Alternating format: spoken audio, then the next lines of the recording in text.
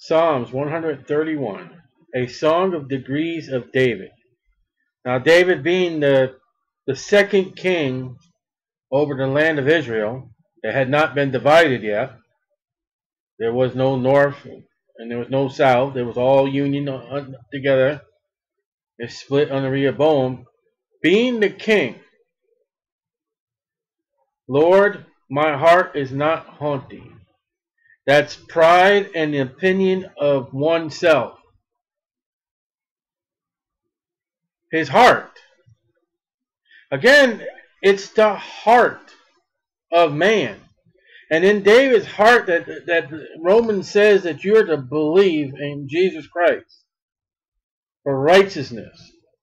David was not proud he didn't think himself to be, oh, you know, look at me, I'm the king and I'm Mr. High and everybody has to listen to me. He wasn't like that. nor my eyes lofty. Lofty, you think of a loft, it's the top room of a house. Again, it's it's a reference to pride and you know, look at me. And yet that's what we see today not only as a leadership of this country, but in leaderships of businesses. There are men who are in charge of a house and they're proud in their opinion of oneself and their loftiness is, you know, I'm the boss. You know, I and then the government, we rule you. That wasn't David, and that is not to be the Christian. Pride is never of God. God never says, I'm proud of you. God said to, to the Lord Jesus Christ, Thou my beloved Son, I am well pleased. Never, I'm not, doesn't say I'm proud of you, son. Never. He says to the Christian uh, that, oh, boy. He says, uh, when he's talking about, he gives them the cities, he says, I am, I am, uh, taking on to 10 cities. Well done. I believe it is. And you are to learn that lesson. If you are a Bible believing Christian, you are not to have your children be raised, oh, I'm proud of you, my son. The proper Bible term is well done. And yet you see pride and haughty and loftiness in our sports. And look where the sports have gone. Drugs, arrests, murder, criminal, jail. Their lives are totally wasted. You ever ask yourself when when, when these guys get their their million and billion dollar contracts, why do they got to get another one next time? What do they do with their money? It's bought on foolish and lusty things because of pride. neither do I exercise, use, practice, work, or labor myself in great matters, or in things too high for me. David was not one of those men of Greece and Athens, you know, ooh, the big thing, and search out the big matter, and, and David dealt with things in his life that he knew and what he understood about.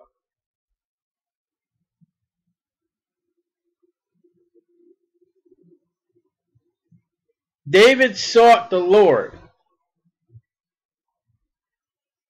And he was king. So it means as a king,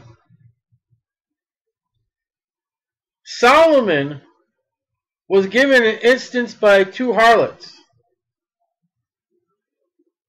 One had given her baby for an appetite, and the other one had hid the baby.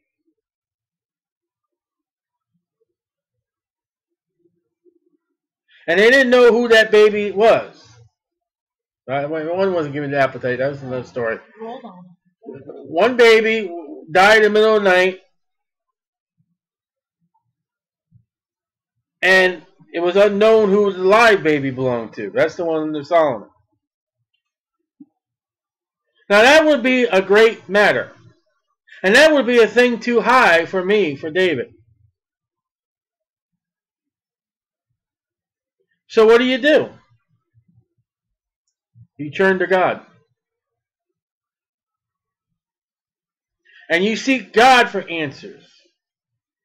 And not being prideful or lofty, you would give God the credit for the sentence that he applied to find out who was the mother of that child.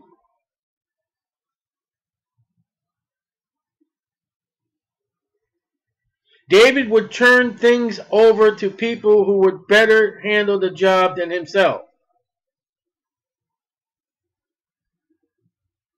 If David did not know how to do something, he found somebody who knew how to do it and let him do the job.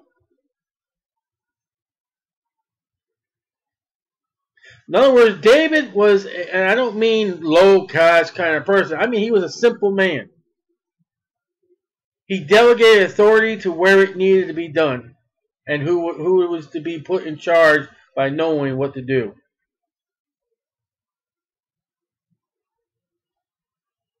Surely I have behaved and quiet myself.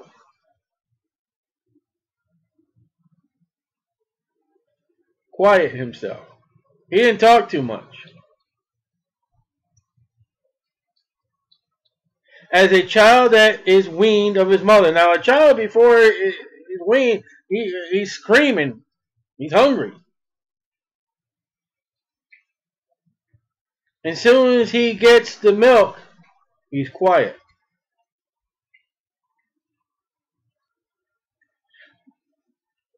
So David is saying, I'm quiet myself, I'm at peace.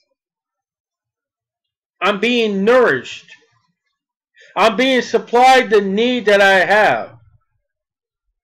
My soul is even as a weaned child. He's wholly depend upon God by natural milk. Desire the sincere milk of the word, the Bible says. So he's not too high for God. He's not too proud for God. He's not too getting to things he can't involve in. He turns them over to the Lord and he's quieted. He's at rest. He's given a natural element that God can provide. When he turns from God and does his own thing and lifts up his authority as I am the king, bring that woman into my chambers.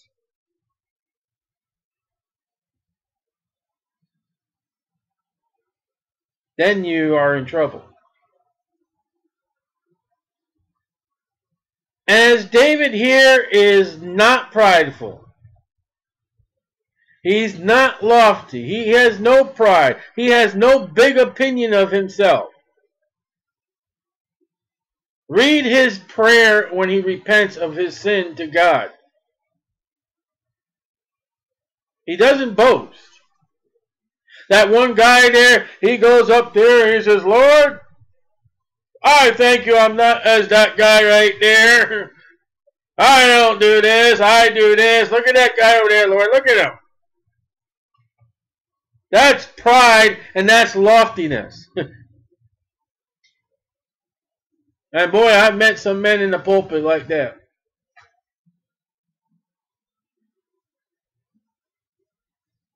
But with a meek and quiet spirit, just feeding on God. And what he's saying is, God, if you want me to know it, you'll show it me and you'll bring to me or I will go find what I need to know. Other than that, if I don't need to know it, oh well. And with that, those two verses, he turns to the nation and says, Let Israel hope in the Lord. What is the hope? that God will provide for them everything they need. They will not look upon, you know, we're the Lord's elect. And that they'll be at peace, feeding upon God as a child with a mother. And I believe God says a land flowing with milk and honey. So what is the expression today? Got milk?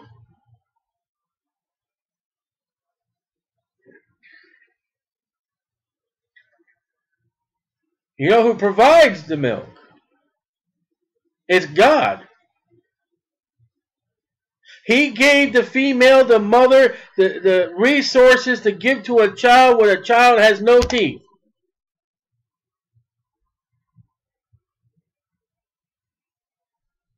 enzymes and bacteria fighting nourishments that are that is in the mother's milk.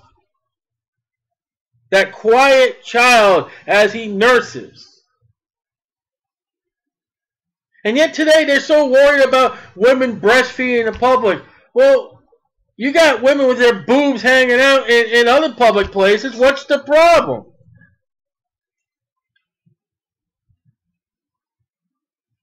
You know, it gets me. Uh, maybe I shouldn't say this, but I, if I get it off my chest now, man, it's amazing how man will see the eyes of something that God made for a baby.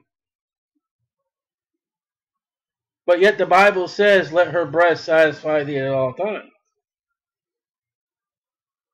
God gave the woman for nourishment for the baby and pleasure for the husband. So you're looking here as nourishment and pleasure. And he turns to Israel and says, You hope in the Lord like that.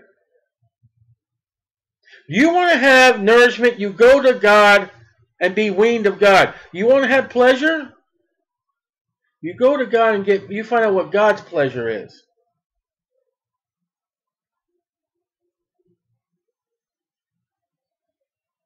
And I don't think it's the foolishness that I've seen in vacation Bibles and all that around.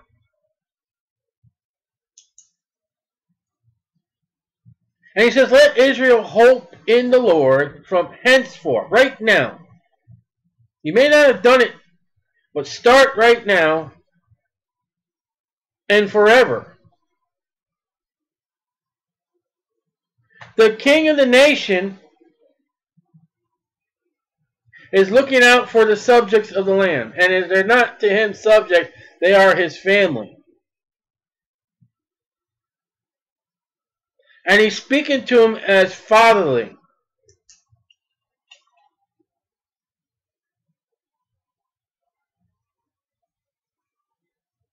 He's not this big, high, lofty person.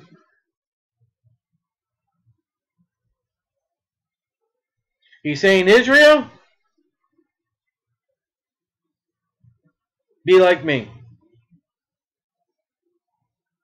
Well, isn't that pride and haughtiness to say that?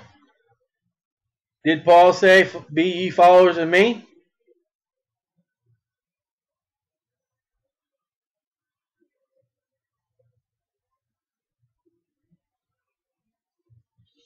See, if you want to follow somebody, Their life better be dedicated to God.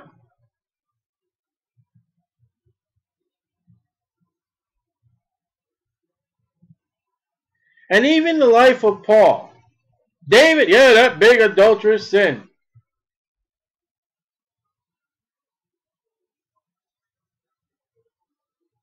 You know, Paul told the Holy Spirit, No, I'm going to Jerusalem.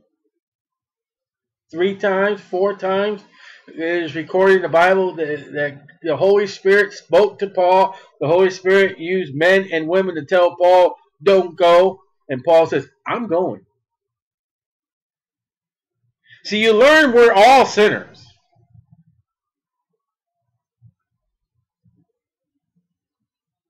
But you find somebody whose heart is given to God And you overlook their sins because, eh, listen, they love the Lord and do it right. They have a prayer like David and a contrite heart and, and, a, bro- uh, and a broken spirit. They confess their sins honestly to God, and God has washed them. And you follow them. David saying, Listen, follow me in my steps, Israel. David's not this big, high, mighty king. He loves the people, and this is godly advice to the nation. Not to be prideful. Listen, listen. In America, proud, I'm proud to be American, made in America. Uh, our team pride and those big number one hands, and and you know that is anti-Bible. That is satanic.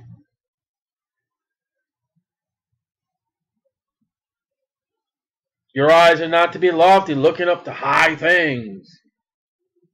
Oh, if I put money into into the market, it's going to get bigger and bigger and, bigger. that's not that's loftiness.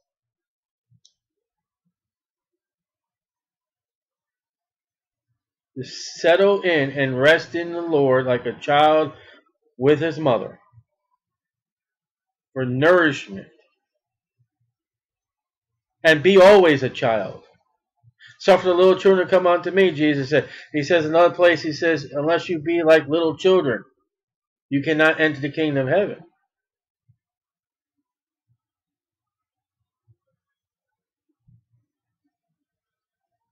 And then Israel, you do what I do.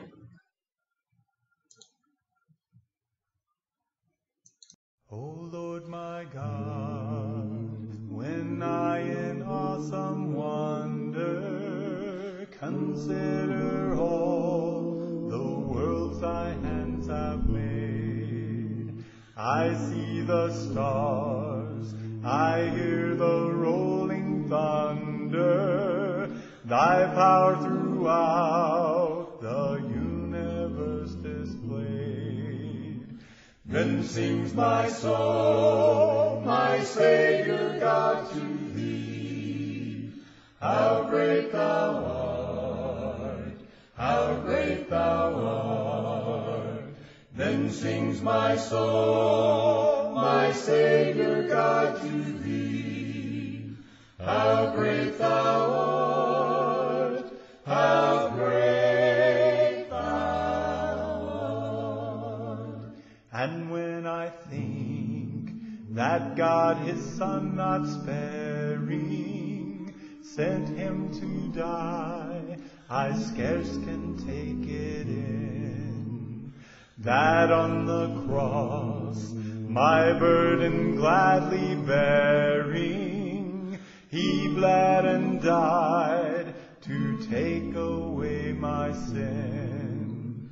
Then sings my soul, my Savior God to thee, how great thou art, how great thou art. Then sings my soul, my Savior God to thee. How great thou art, how great thou art. When Christ shall come with shout of acclamation and take me home what joy shall fill my heart? Then I shall bow in humble adoration and there proclaim, my God, how great thou art. Then sings my soul, my Savior God to thee, how great thou art, how great